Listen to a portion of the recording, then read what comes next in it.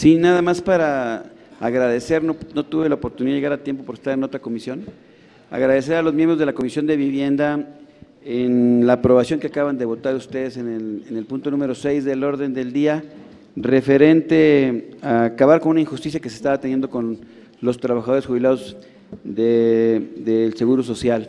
Y que no es una iniciativa de acción nacional, es una iniciativa que los trabajadores le llevaron a muchos diputados que son miembros de esta comisión.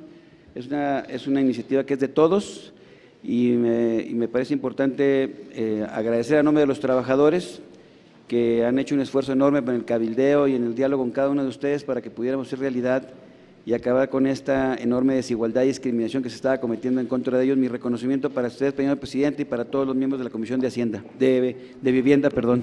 Muchas gracias. Gracias, diputado.